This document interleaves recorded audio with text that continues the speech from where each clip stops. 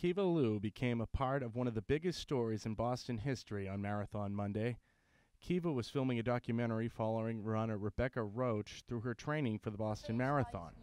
The BU grad student staked out a spot with Rebecca's boyfriend and family just outside Marathon Sports on Boylston Street to capture her subject crossing the finish line. Her decision to follow Rebecca's boyfriend as he reunited with her after the marathon may have saved her life.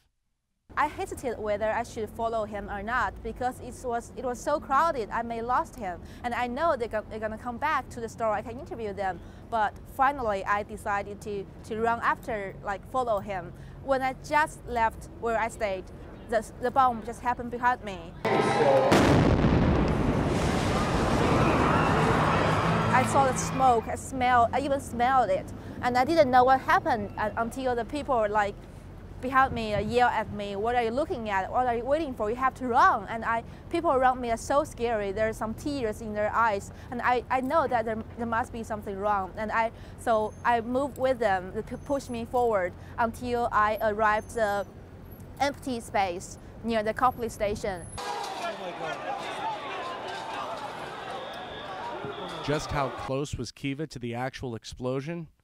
These two flags at the bomb site are seen over Kiva's right shoulder in this photo taken on race day morning.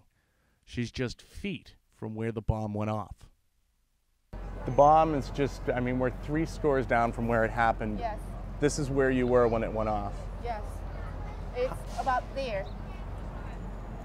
And when I ran here. How lucky do you feel that you moved down the street a little? Oh, uh, of course, very lucky. And I even because the, the bomb was happened just where I stayed, you know. And I feel like if I don't make the decision to to run away and to stick on the the, the runner I'm filming, I must be died. So I feel like probably the insisted of catching the best footage of me, that's the, the face of me, helped me, saved me. Kept you alive. Kept yes. Like any good journalist, Kiva wanted to capture the moment. Here's some of the footage she shot in the immediate aftermath of the explosions.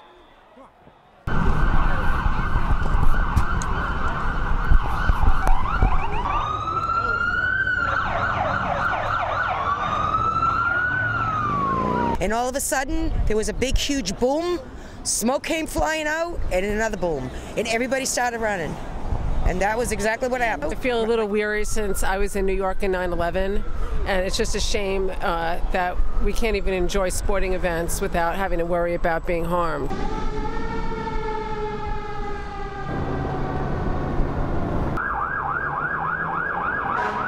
all the way down to say Berkeley or Arlington Street, go down, and then this Kiva took to Facebook to assure friends and family that she was okay.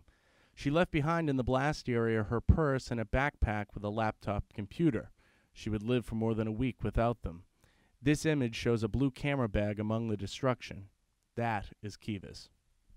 Adding to her distress of living without her belongings, Kiva found out that an earthquake back home in China had struck an area where her parents lived. Thankfully, they were not injured. Life has begun to move on down on Boylston Street. Residents and tourists visit the memorials to remember the victims.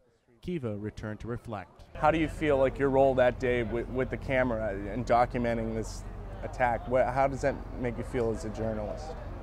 as a journalist, I was I was so confused when I did everything, like after that day, until I really finished the news package. I feel like it's your responsibility to record everything happened and to present to people who don't know about that. We have to be be stronger to live with this, but it's still something take times. Kiva's work proves that the role of the journalist is invaluable in breaking news stories. She comes from far away in China, but like everybody else who was in Boston on that Monday, she is Boston strong. Kiva plans to cover the marathon next year. On Boylston Street, Mike Neff for the Boston University News Service.